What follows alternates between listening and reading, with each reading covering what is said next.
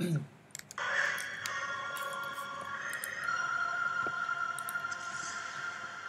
chào các bạn đến với cả phần 5 của series chiến thắng bằng con đường tôn giáo. Phần trước thì mình đã vượt biển thành công, xây dựng được hai thành phố ở bên này rồi. À, phần này thì bắt đầu uh, chuẩn bị cho trận chiến tôn giáo. À, đây sẽ là trong những cái phần uh, gọi là gì nhỉ? Đánh nhau gọi là kịch liệt nhất về tôn giáo. Đó, quân Trung Quốc có rất nhiều mấy cái con Inquisitor ở đây, Guru ở đây. Rồi xem nào. Quân uh, Brazil mình không nhìn được nhưng mà đại khái thì có mấy con của quân Scythian ở đây. À, mặc dù Brazil có tôn giáo riêng nhưng mà có vẻ như là nó rất là yếu thì chắc là bị quân Scythian thịt hết rồi. Rồi thì còn lại uh, đây là mấy con quân Scythian để game này kết thúc nhanh hơn thì bây giờ mình sẽ tiến hành hai đạo quân tôn giáo, một là phía trên này, để đánh nhau với các binh đoàn tôn giáo của Trung Quốc. Hai là một đạo quân tôn giáo ở đây để đi xuống đánh nhau với quân Scythian ở dưới này. Rồi, xem nào. Extern trước này. Rồi, mình nhìn thấy có một con đứng lấp lo ở đây. Rồi xem nó trước nào.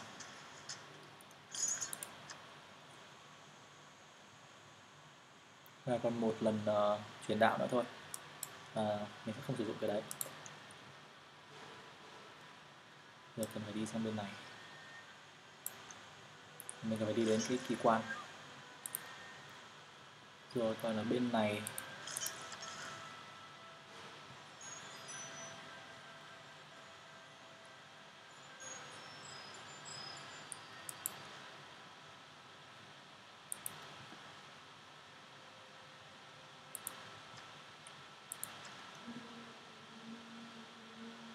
xem nào sẽ thêm con gì đây nhỉ? Ở đây mình có một con này hai con ba con Aspoler rồi này. Cho mình xem một con Guru nó. à, mình giải thích cho một chút về mấy cái tên gọi của mấy con này. Nó rất là có ý nghĩa.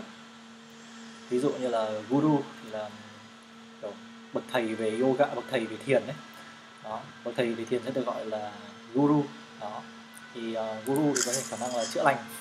Bậc thầy về thiền mà để giúp các bạn chữa lành về mặt tinh thần. Chính vì thế ốp trước giờ mình quên mình chưa xây mất cái có thể à không phải, riêng con guru này thì nó chỉ ờ, chỉ được 3 lần ờ, hồi máu thôi sau nó sẽ chết.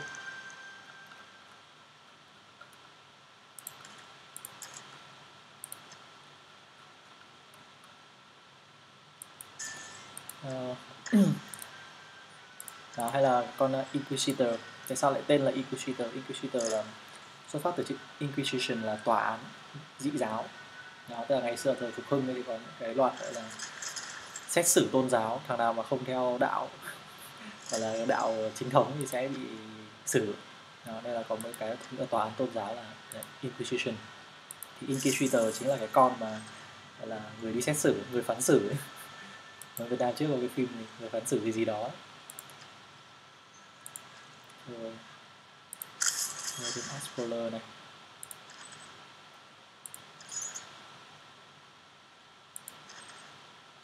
Mình tuyển thêm được một great version. Để xem quân Brazil xem.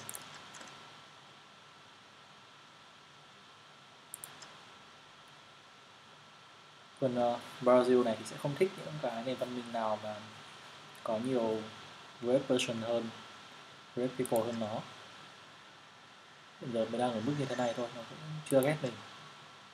Mà nó cũng chưa thích mình, nó không kết bạn được. Bây giờ mình mà tuyển cái web version này thì quân Brazil chắc là sẽ rất là ức chế. Rồi mình đang cân nhắc việc có nên tuyển hay không. Tuyển ông này thì tăng thêm mấy điểm culture điểm culture, mình đang dẫn đầu rồi. Thì thực của nói thì mình cũng không cần phải tuyển thêm web version nữa. Ok này mình sẽ chọn phương án là positive. thì mình không đi theo đường văn hóa không đi theo cao culture và mình muốn làm sao để hào hữu hơn kết bạn. Và hòa hảo hơn với cả quân Brazil. Ok mở biên giới đi để tăng tỉnh hào hữu.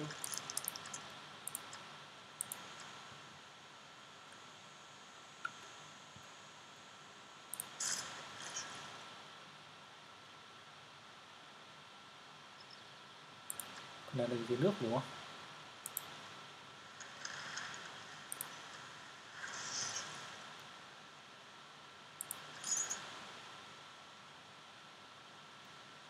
Giờ giờ mình tìm cách để giết cái con này. Không tới, không giết được nó. Vây giết con này. Giết con này sẽ làm cho tôn giáo nó của tôn giáo của mình được phát triển rất là mạnh.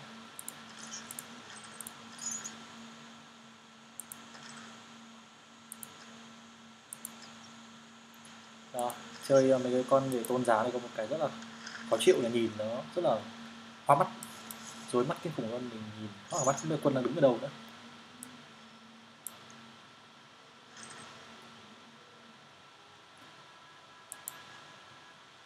Rồi đoạn này thì mình cũng sẽ cho bạn biết là tại sao lại cần cái con guru này. Cái này xây xong ờ, thành phố chưa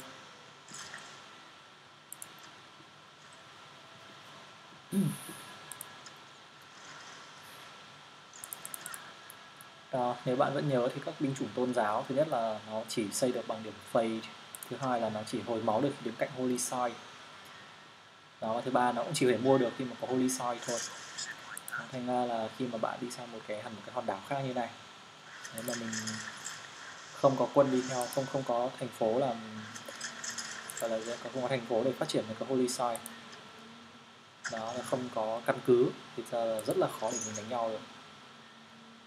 Rồi, hấp thêm con này nào.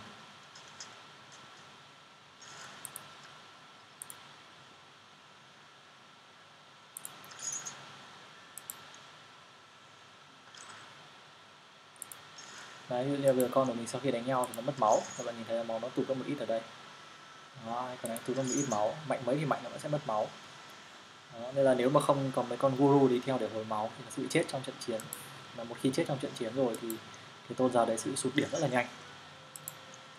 Đó, nên là con guru này tác dụng của nó là đi theo để hồi máu. Và giúp cho bạn thì tiếp tục ờ, đánh nhau mà không cần phải quay trở về holy side để, để nghỉ dưỡng. Này có khả năng gì nào? Đấy, có tác dụng gì lắm không chặt cho nâng cấp lên. À, xem nào. Và thì mình không cần nghiên cứu thêm về phần khoa học nữa. Nó tập trung hẳn ở bên tôn giáo rồi cái này thì có tác dụng gì nhiều. Ờ, à, mình cứ sang cái này đi.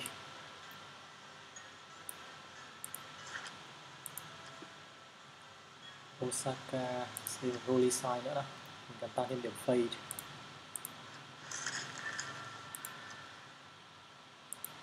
Paris, nó còn một lượt xây dựng. Mình cần tìm một cái rừng để xây một cái năm đường mill ừ, cái này xây được 5W không nhỉ? Như à, cái này xây được vậy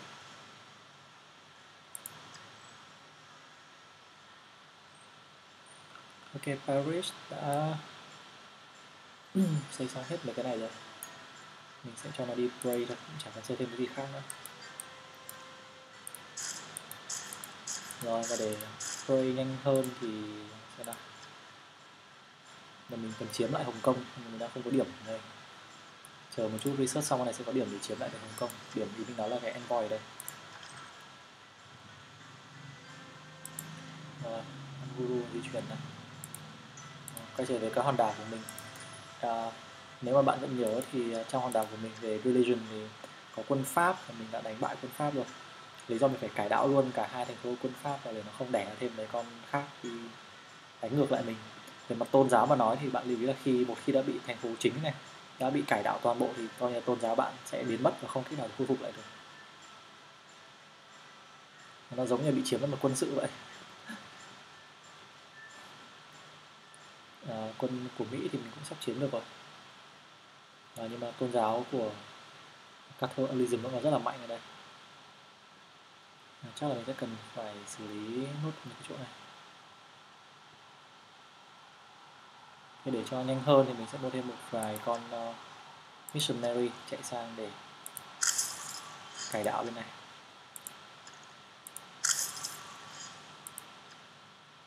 Hai con chắc đủ rồi mình muốn giữ tiền để uh, cải đạo bên này. Thì mình là mình muốn giữ lại điểm phây để mua thêm các binh chủng tôn giáo bên này.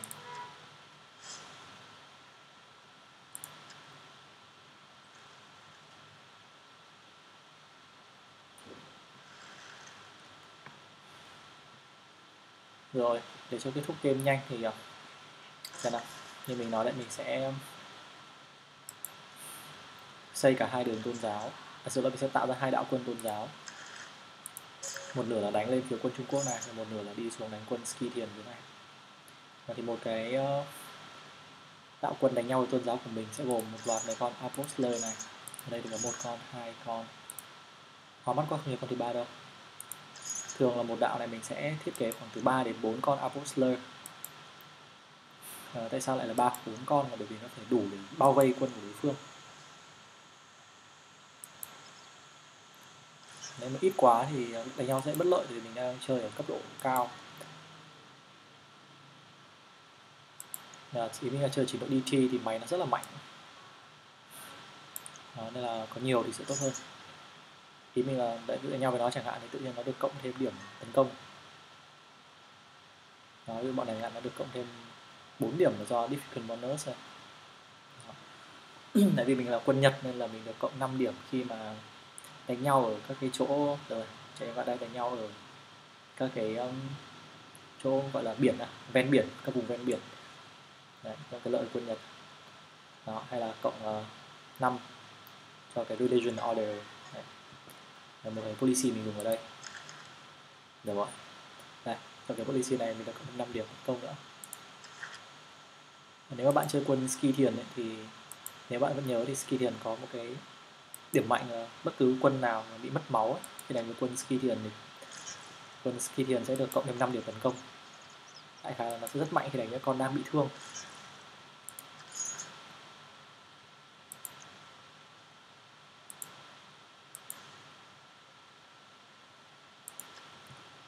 Rồi. Mình đã rất là khó trong việc gọi là triển khai quân uh, triển khai quân của mình. Này nó rất chật người đông không nhìn thấy đâu nữa.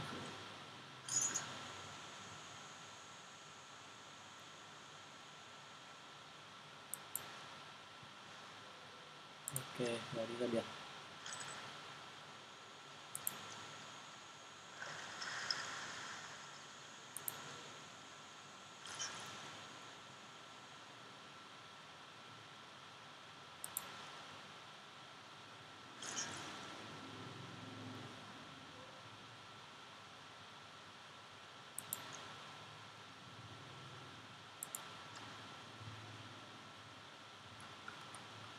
Ừ, ở tầm này thôi là mình không cần xây thêm gì nhiều nữa, mà mình tập trung chỉ vào là nghiên cứu, gọi là đi cầu nguyện thôi. Khấn để nâng cao khả năng chiến thắng. Và làm cái khấn này sẽ tăng điểm phase mình nhận được. Sau khi nó, gọi là kết thúc cái nó nghiên cứu xong thì sẽ tăng điểm phase và những cái khác này mình cũng không cần. Và thì mình hoàn toàn thể xây mấy cái library này, tăng điểm khoa học. Nhưng mà nó cũng không tác dụng gì. Cái này thì xây cái library này cho vui. Chuyển ra là cầu nguyện. Này, cầu nguyện giúp chiến thắng. Khấn để thắng. Là chả hiểu mình xong cái quest thì được Kabul nữa. Chả để ý. Là điều lệnh không quan trọng nữa. Thì mình đang dồn hết tất cả gì có thể vào um,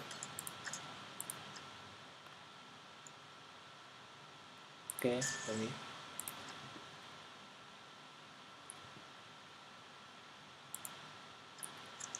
Rồi, quân Brazil đang ở trạng thái tình trạng như nào với mình rồi? À, không có tệ nhưng mà cũng không kết bạn được. Mình chỉ bơm một ít tiền xem. Tặng quà cho nó. Tặng cái này xem nó có cải thiện được cái này không? Không có giá trị gì cả. Không được cộng một điểm nào luôn. Cho nó trăm vàng nha. ok 10 điểm rồi. Nó vẫn not increased à, chỗ này không xây được. Chỗ này vì nó là rừng ở trên núi là mình không xây được. Number view vào đây. Lựa chọn khác cho mình chắc là chỗ này.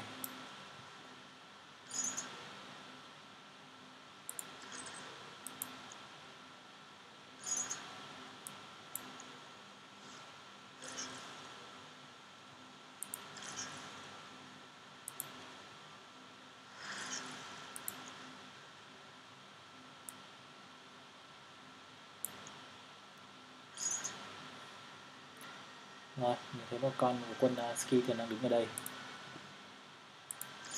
À, mình nghĩ mình phải đuổi theo để nó đứng tận đây nó làm là để đập nhau với cái nó đấy cho nên sẽ phải dàn quân nó trước vây nó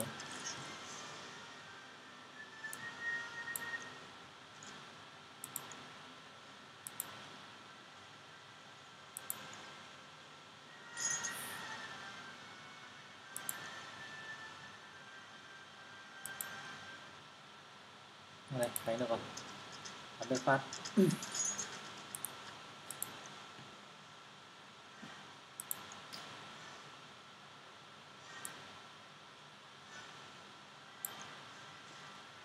Không đánh được rồi đây bạn nhìn nhá cái con này nó là con của con Skythian nên là khi mà mình đánh nhau con này mình đã bị thương rồi. Là khi mình đánh nhau với cả nó mặc dù nó chỉ là mercenary thôi. Đó, nhưng mà nó đánh điểm ngang với con của mình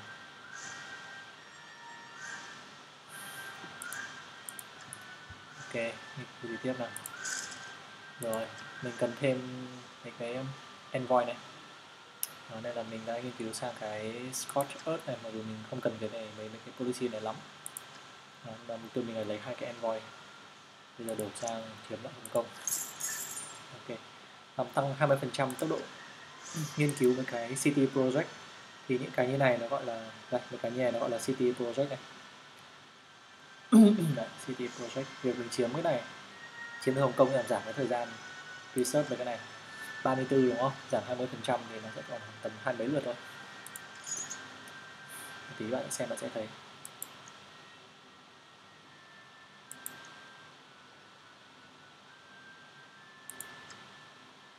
Con này nó chạy xuống biển thì cũng hơi mệt cho mình.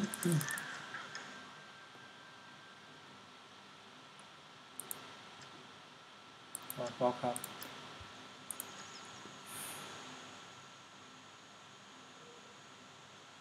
à, không hiểu quân Brazil nghĩ gì mặc dù mình vừa cho nó 100 vàng và mình đẩy mối quan hệ lên được rất là tốt nhưng mà nó vẫn không chuyển sang trạng thái tình trạng quan hệ tốt hơn.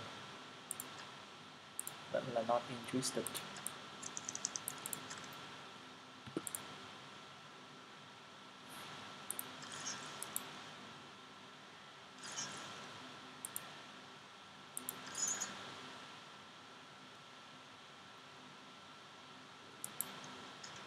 Rồi, của mình là giết con này. Để tránh khi nó chạy đi thì sẽ đứng nguyên ở đây. Rồi con guru này. Guru này đi sang đây để hồi máu đi.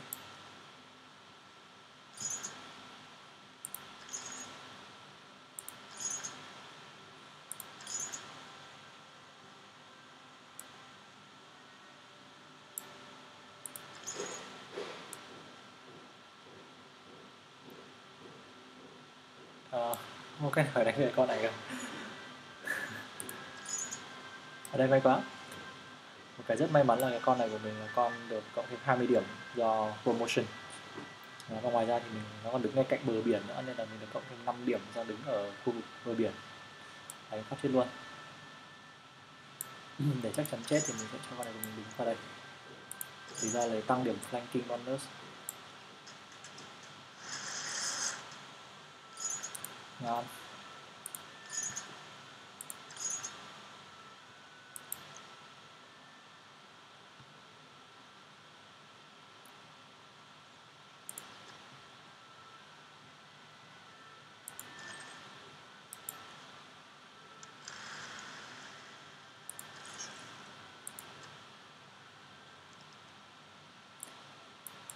Gì đây? Muốn mua cái này của mình à? Đó mình cũng không cần cái này làm gì. Thôi đẹp. Review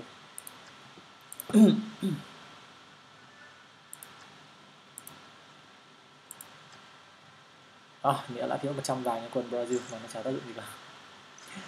Thật là đáng tiếc. Thế sao chúng đã cố gắng hết sức để mối quan hệ tốt đẹp với các bên nhưng mà không được.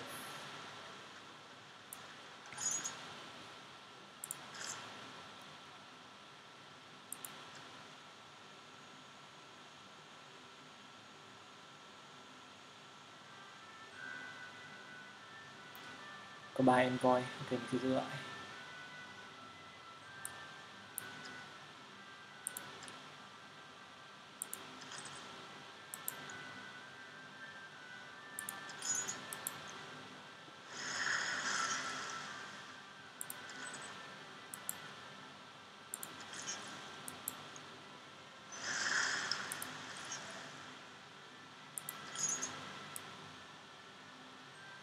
rồi đánh cái chết luôn.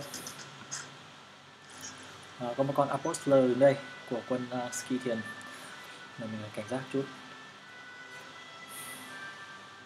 À, cái con uh, Missionary nó không tấn công được chỉ cái phòng thủ thôi đánh vào vẫn thấy là không bắn được luôn. Chỉ có con Apostler và Inquisitor có thể tấn công được. Còn Guru con này. Đó. Không có khả năng tấn công. Missionary cũng như thế.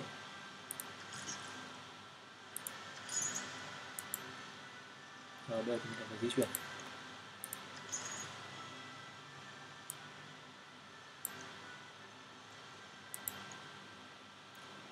À, trong giờ các binh chủng thì ờ, này các binh chủng tôn giáo này lúc mà di chuyển thì bản đồ rất là khó nhìn.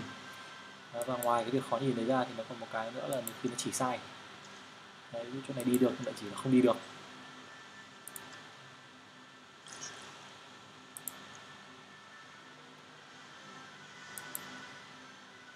Mình không có phải đụng độ với con Apostler này. Né qua chút. Lý do là missionary thì điểm khá là yếu. Thì cho mấy con Apostler vào đánh nhau thì sẽ tốt hơn.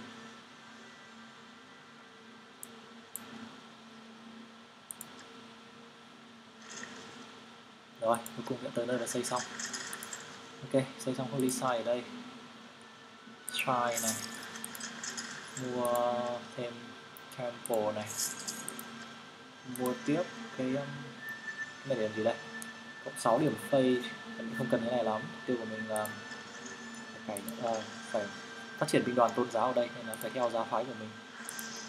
Lý do là giáo phái của mình sẽ được cái Moscre này. Đó thì tất cả mấy con missionary apostler hay là inquisitor sẽ được cộng thêm một lượt truyền giáo. Cái đó rất là quan trọng và cần thiết. Và để chắc chắn hơn thì mình sẽ xem nào mua một con inquisitor nữa hai con để phòng thủ. Mình sẽ làm lại một đạo quân truyền giáo ở đây chắc là một ba bốn con apostler một hai con guru và missionary để đi sang đây cày nhau với quân Trung Quốc. Nhờ đoạn này mình chỉ cho các bạn biết là cách làm thế nào để nhanh chóng để đánh chiếm được uh, truyền giáo được. Nếu đi truyền đạo vào từng thành phố thì rất là chậm cách nhanh nhất là tìm cách đánh mấy con này giết mấy con này để nó tạo ra hiệu ứng thanh lọc tôn giáo sao gọi thứ gì? Mình đặt lời tên như thế nghe nó vui.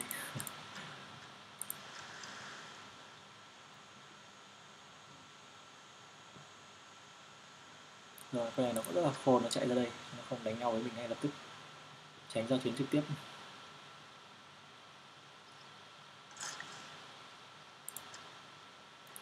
Còn lại nhà mình không xây được cái năm bờ mưu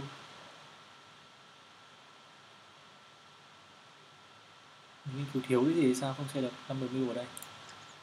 À mình sẽ nghiên cứu cái này. Chờ chút vậy thoáng cái con thổ phỉ. Con barbarian chạy vào đây.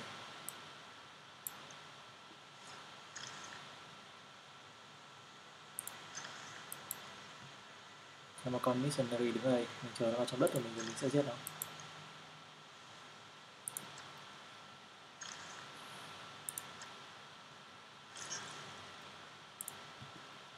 từ đó chỗ này mình sẽ cần mua thêm mấy con apostler và guru. Đó đặc thù ở binh chủng tôn giáo là buộc phải mua bằng điểm play không thể huấn luyện được. Và cái này càng càng đắt hơn lúc đầu nó chỉ có mấy trăm rồi lên 500 rồi này. Tí nữa một, một hồi nữa xây một loạt ra lên cả nghìn điểm phây cho một con này. Đấy, nhưng bù lại binh chủng tôn giáo cái hay là không tốn tiền để duy trì. Là không tốn tiền bảo dưỡng. Bảo dưỡng cái buồn cười nhỉ như kiểu xe máy.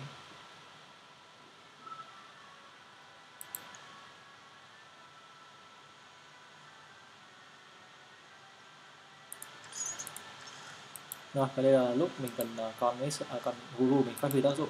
Đây mình sẽ cho các bạn xem tác dụng của nó. À, mình xếp quân đã. Rồi guru này nó có một cái tác dụng đó là hồi máu tất cả những con đứng xung quanh nó và bao gồm cả nó.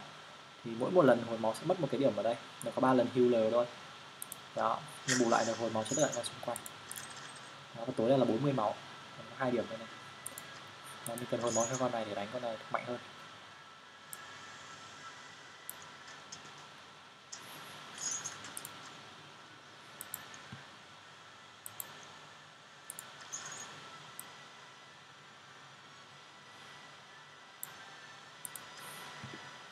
À, tại sao là một đạo có khoảng 4 bốn con apostler? Ba đến bốn con là tốt nhất tại vì thấy lúc mà xếp đứng quanh một con guru ấy thì rất là tiện. Đông quá thì cũng sẽ khó xếp. Ba đến bốn con mình nghĩ là vừa phải.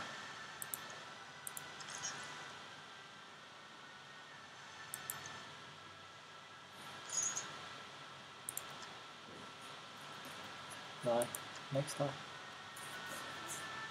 Ok, mình nghĩ là mình sẽ kết thúc game này trong à, một thời gian ngắn nữa thôi. Bây giờ turn thứ 148 rồi, chắc khoảng khoảng 3 40 turn nữa sẽ kết thúc. Và đây là một trong những trận đánh tôn giáo nhất mà mình đã từng chơi. Mình, nghĩ mình đã gặp may mắn khá là lớn ở đoạn đầu khi mà nhặt được cái uh, cái Great Quốc. Nếu bạn vẫn nhớ là một cái relic, một cái um, là gì nhỉ? Relic cái thánh tích à? Đó, nếu bạn vẫn nhớ thì ngay hồi đầu tiên mình nhặt được cái thành tích là cái này nó, nó giúp cho mình có 4 điểm fade ngay từ đầu và thấy rất là có lợi khi mà mình tôn giáo 4 điểm fade ở thời điểm bắt đầu thì là rất là lớn từ lúc đầu thì chẳng có gì để tăng ở điểm fade cả. Nice, may quá còn này cậu được 20 điểm. Compet nữa. Quá tuyệt.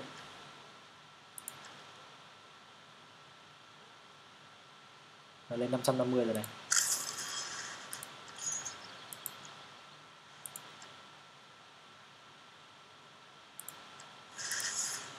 rồi mua thêm một con guru nữa. 580 này. rồi. Hiện trong này mình có một, hai, ba con apostler, một con guru, hai con inquisitor. Nó cũng không tệ.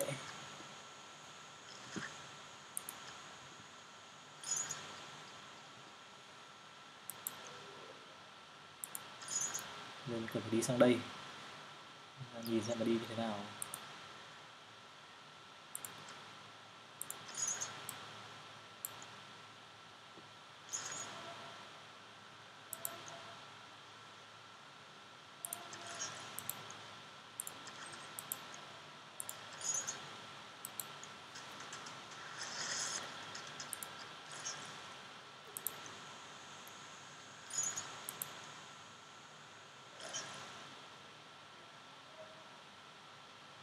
Rồi.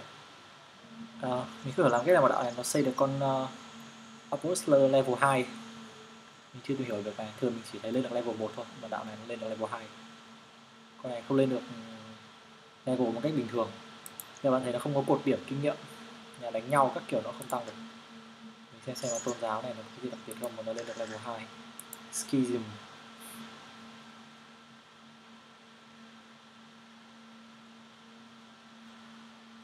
Uh, chả hiểu không có cái nào nói là nó lên được level 2 kìa thôi kệ tập trung mục tiêu của mình.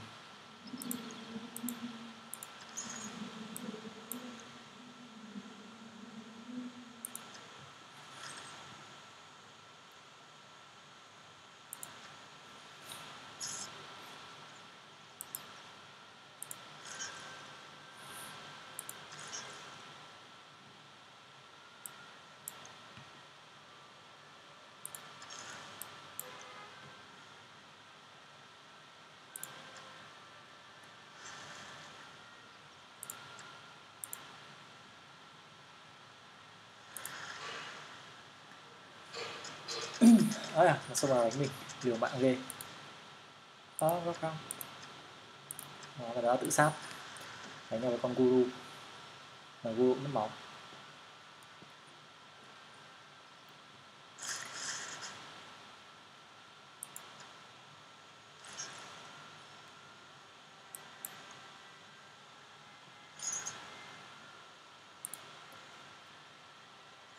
rồi đây mình đã có một đảo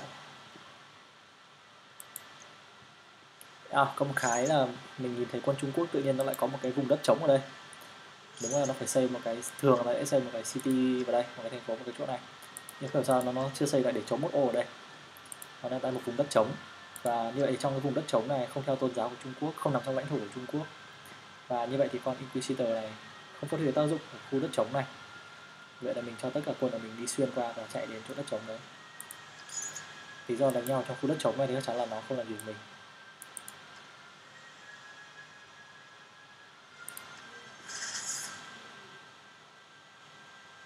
Rồi, guru đi tiếp nào.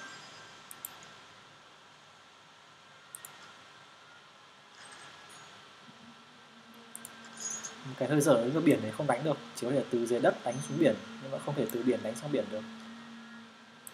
Đứng này chịu chết hoàn gì mà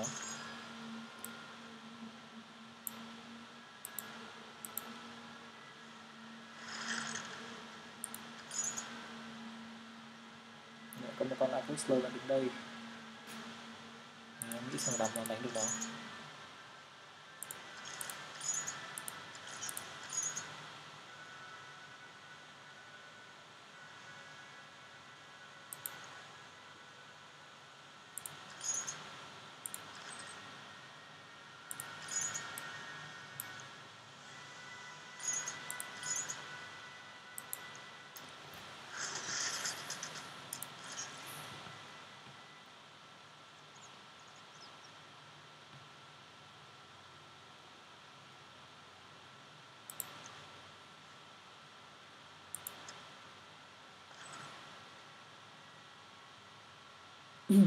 cái này mất chưa mất nhiều màu lắm, nên là mình sẽ chờ đi một chút nữa cho con Guru này chưa phải làm gì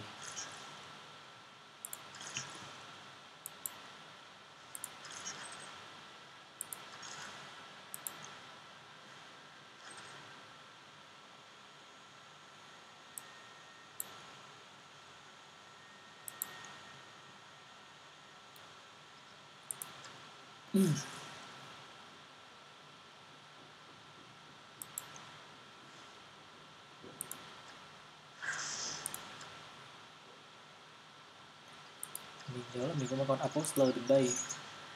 Có một lượt truyền giáo cho nên mình kệ nó. À đấy. Vừa nhắc xong nhìn thấy có một con à, có con Trung Quốc đứng gần đấy. Quay khoảnh cho mình phát gần chết luôn.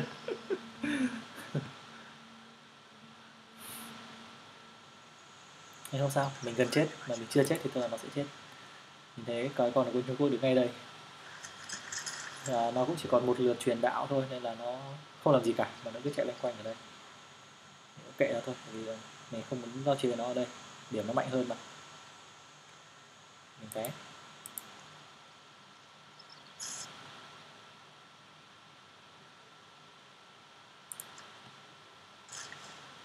Rồi.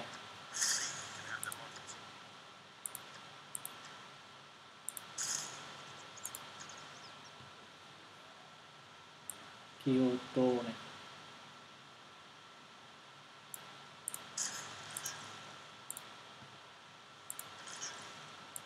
Hải đảo thành phố Washington này.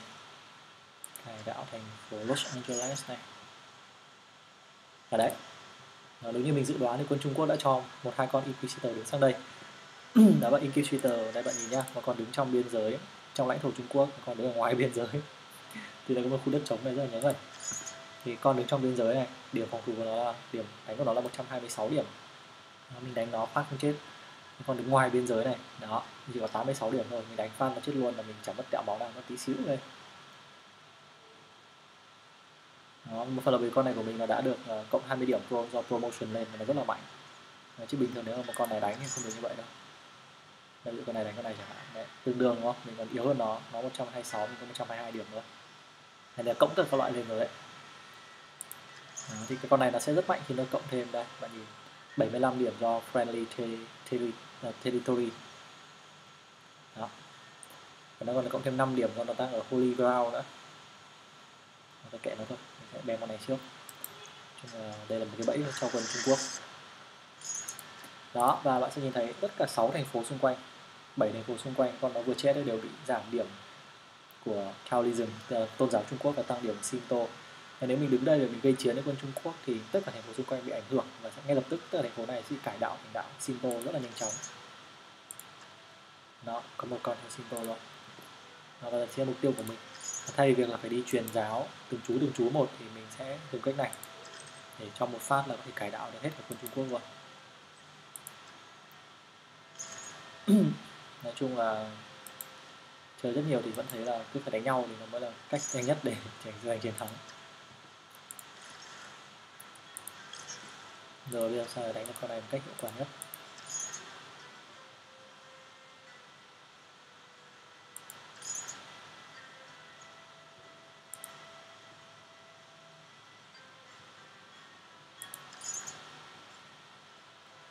À, ok mình sẽ đánh như này. À, không cho con guru này hồi máu. Đấy, sẽ dùng nó để giết con này. À đó. Rồi sau đó có ý kiến là mình đang uh, cải đạo thành phố của nó. Rồi nếu mà chúa để ý chí của chúa không ai cháu gì để cải đạo cả. Cách trả lời rất là khó chịu đúng không? Đúng nghĩa việc là có một thành phố của nó đã bị theo đạo của mình. Chưa có mới chỉ thành phố này mất đi tôn giáo thôi. Nhưng nó vẫn đã um sùm lên rồi. Kệ nó thôi xem nào bao lâu đã đi hết thời hạn đồng minh. Ờ, nó không hiện ra. Nó thường nó hiện ra là bao lâu nữa thì hết đồng minh. Không lỗi gì đấy? Nó kệ đi. Và với một cái game lớn như thế này thì thỉnh thoảng có một vài lỗi mình thấy cũng chuyện rất là bình thường. Khá là dễ hiểu cho nhà sản xuất.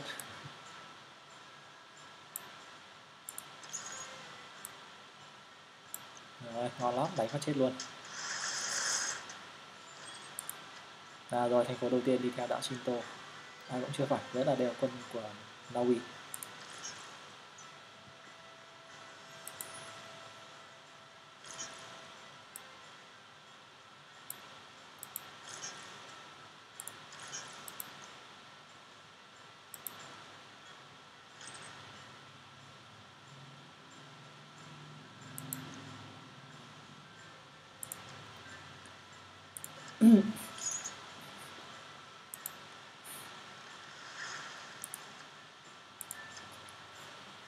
rồi để bạn thấy là tất cả con apostle của mình đều đang bị mất máu rồi. Và lúc này nếu mà không có con guru đi theo, mẹ phải cho quay về nhà để hồi máu.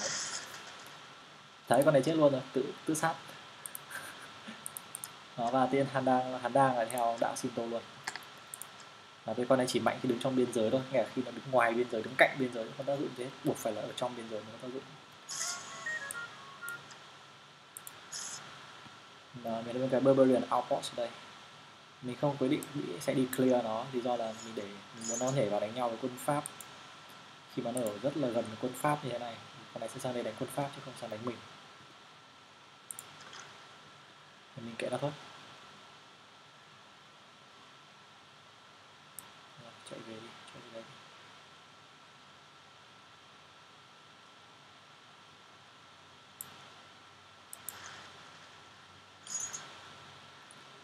đi. Một đúng quân thổ phỉ ở phía trên này sao? Mình vừa nhìn thấy một lướt qua cho đấy rất là nhiều con thổ phỉ ở đây. Trời ơi. Nhưng mà không sao nó sẽ đánh sang lion chứ không phải đánh sang nhà mình hay là kệ nó. Đây là một điều tốt nữa. Kiềm chân quân uh, pháp. Rồi mấy anh em lại đi khấn nào. Đó, khấn để giành chiến thắng. Và may mắn là một điều rất là quan trọng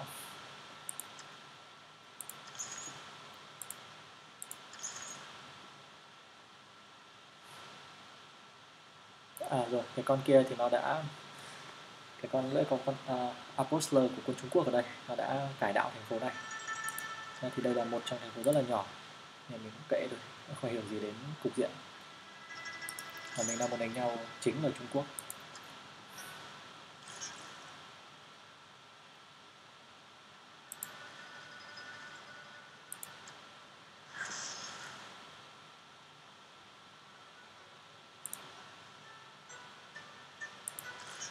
Tức là mình có đặt cài tạo được nó sang à đây rồi may quá cài tạo được nó sang tô rồi.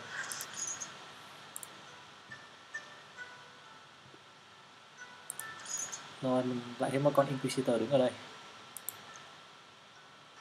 Nhiệm vụ của mình là đứng đây để khiêu khích nó. À tính là máy hơi bị ngu mình không hiểu sao nó lại đánh ngu như thế. À, mình không biết là lần update gần đây nhất thì nhà phát triển có điều chỉnh lại khiến nó ngu đi hay không. Thật ra là nó ngu thật lúc trước mình thấy nó tốt hơn.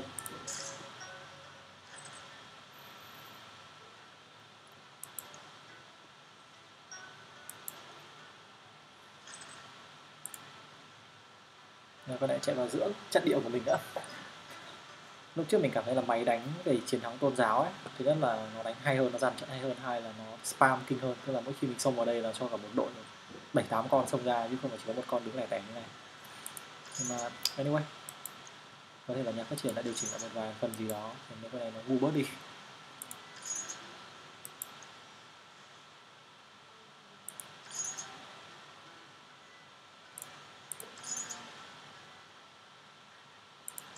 Đó, mình đứng như thế này là để tăng cái điểm flanking bonus Đó, bạn nhìn nhau mình có 1, 2, 3, 4 con đứng xung quanh. Đó là điểm flanking bonus của con này sẽ được cộng lên bao nhiêu? Chờ chút nha, nó sẽ hiện nào? Đó, có tới 8 điểm flanking bonus. Đánh một phát chơi luôn. Ôi, chưa chết. Không thể tin rồi nó thì không sao. Rồi thì cũng chết.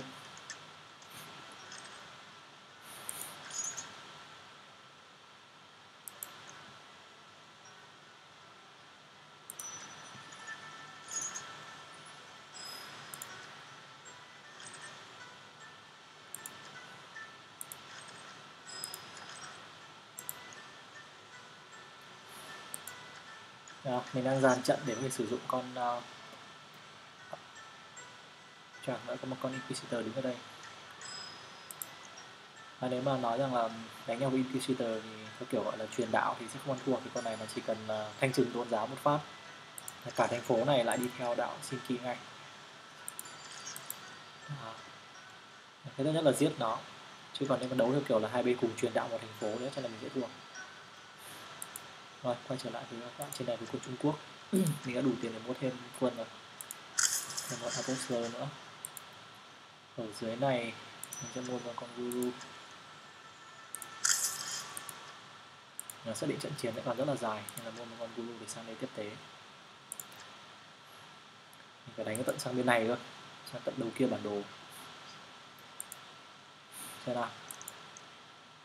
À,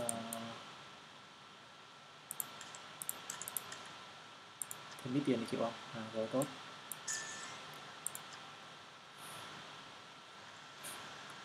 Ở đây tiền của mình đủ dùng rồi 700 vàng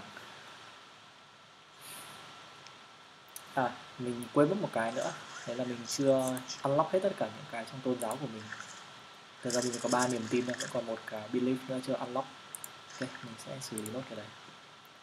Xem trong mấy con này có con gì tác dụng kém nhất thì mình sẽ xử lý nó mình dùng luôn con này nhỉ? À con này không được, con này phải có được 3 điểm spread thôi hết được. Không còn khả năng spread nữa.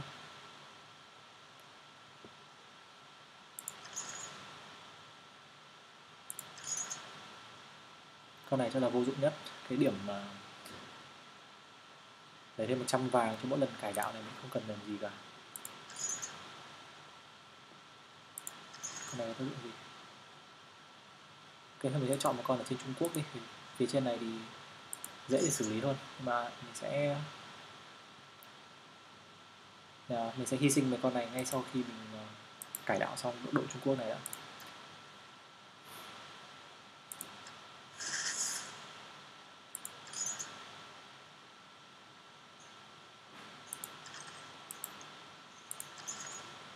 Đấy, mình rất thích những con nào đứng lẻ tẻ trên đất như thế này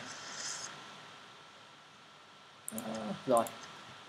Lý do là mấy con này tại sao nó lại đang chạy long quăng là bởi vì nó muốn sang đây để cải đạo lại mấy thành phố vừa bị cải đạo sang Shinto. Đó chưa thế nó chạy qua vùng đất trống ở đây.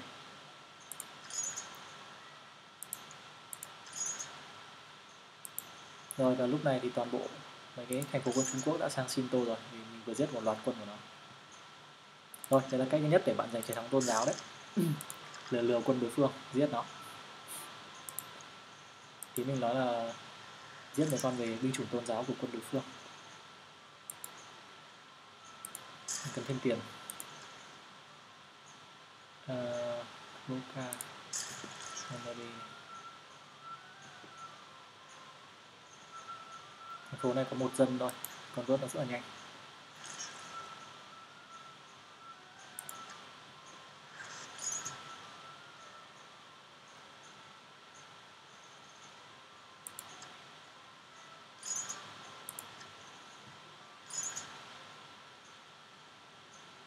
Chạy luôn xuống biển.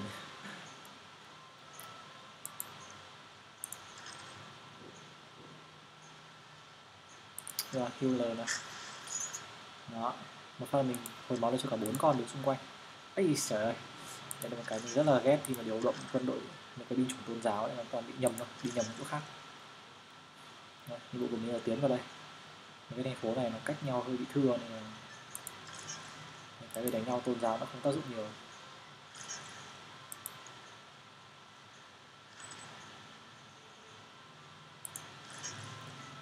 Điều động cái này đi. Rất là hoa mắt. Biết nó đang đứng ở đâu ở đâu nữa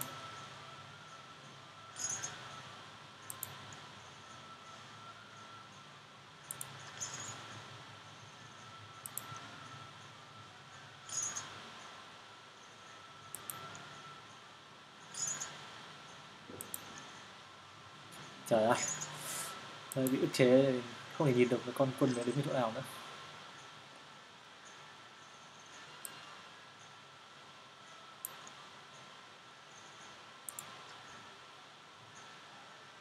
Mình có 5 envoy. Rồi vào đây trước này. Rồi. Let's start.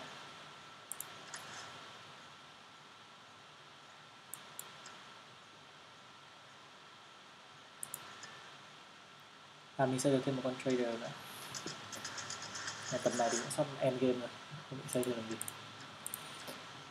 Đó, tại sao lại sắp end game. Lý do là đoạn này thì mình em đã chiếm được khá là nhiều các vùng đất tôn giáo.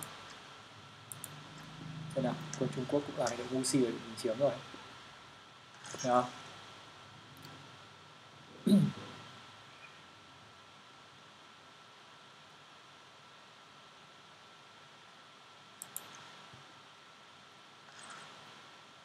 rồi xem lại xem bản đồ tôn giáo. Uh, religion đó bản thân mình đã con có được 8 6 trên 8 rồi. Thì mình đang rất là tiến tiến rất gần đến chiến thắng tôn giáo rồi. À, khi nào thì được tính là cải đạo thành công khi nào được tính là dominion nghĩa là khi mà ví dụ đây đó là thành mình chiếm được hơn 50 phần trăm thành phố của đối phương và đi theo tôn giáo của mình. Thì trong trường hợp đấy là mình sẽ thành tôn giáo chính của nền văn minh đấy và sẽ giành được gọi là chiến thắng.